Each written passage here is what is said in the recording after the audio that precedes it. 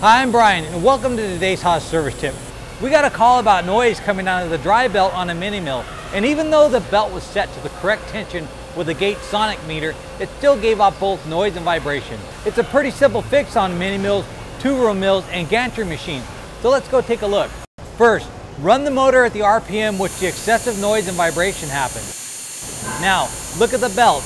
Is it distorting or flapping? Kill the power, use the belt tension tool part number T1488 to change the tension until there's about an eighth to a quarter inch of deflection on the belt. Run the machine at the same RPM and watch the belt again. You should see that the distortion or the flapping is gone.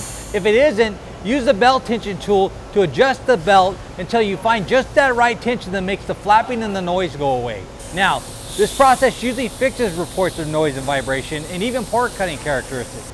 If you can't find a belt tension that fixes the problem, there's a good chance there's something else going on with the drivetrain. That's it for today's Haas service tip. Thanks for watching.